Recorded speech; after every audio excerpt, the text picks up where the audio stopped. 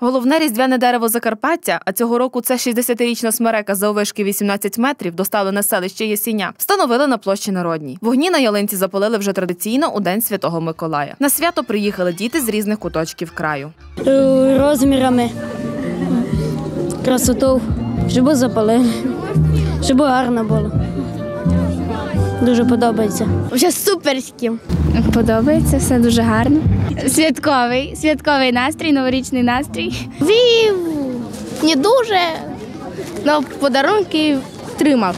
і прикрасами, і розташуванням, і те, що біля неї будуть виступати. Хочу е, потанцювати і порадіти. Не менше дітей раділи свято і дорослі, проте мрії і бажання у них дещо інші. З Рішевського району. Настрій чудовий. Новорічний. Новорічний, ні. Вже новорічний. Уже новорічний. Без снігу, але новорічний. Що дорослі очікують від свята? Ну, дорослі подарунків, миру, добробуту. Щастя нашим діточкам. щоб було мир в Україні.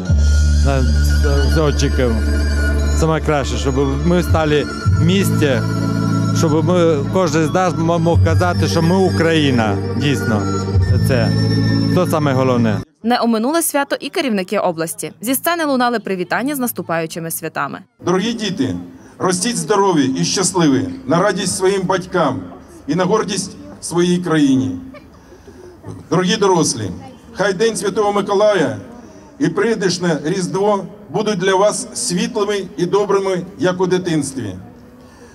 І нехай у цей день зеленіє не лише ялинка, а й травичка свята вже невдовзі.